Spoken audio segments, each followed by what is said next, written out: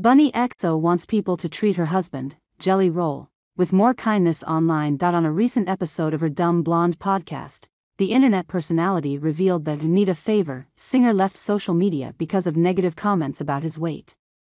My husband got off the internet because he is so tired of being bullied about his FING weight, and that makes me want to cry, because he is the sweetest angel baby, said Bunny in a clip shared to her TikTok account.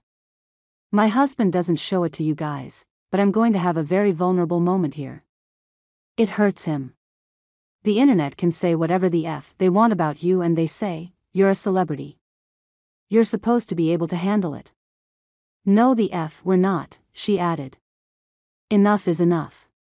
Bunnie then spoke further about the impact of online hate don't bully people, because you never know where they are mentally. There are a lot of people who are not as strong as me, that are on the internet, and they don't deserve to effin and be bullied. She explained that her goal online is to stand up for all the effin underdogs, noting that she refuses to let hatred get to her.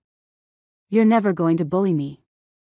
You're never going to lie about me or my family, and I will fight to the end, said Bunnie. In a recent interview with People, Jelly opened up about embarking on a health journey in preparation for the Two Bears 5K with Bert Kreischer and Tom Segura at the Rose Bowl in Pasadena, California, on May 7th.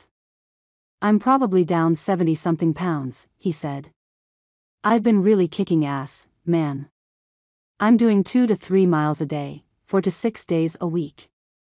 I'm doing 20 to 30 minutes in the sauna, 6 minutes in a cold plunge every day.